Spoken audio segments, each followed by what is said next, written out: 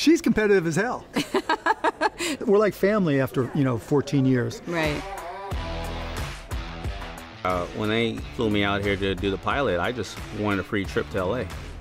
Uh, this this thing was never going to work. For me, it was just a natural extension of what I was already doing. On that first day on the shooting, uh, I noticed one little detail. I had no idea if it was going to work. I don't think anybody really did, but I noticed that every camera guy, once the pitch was over, we broke down the set and got ready for the next pitch.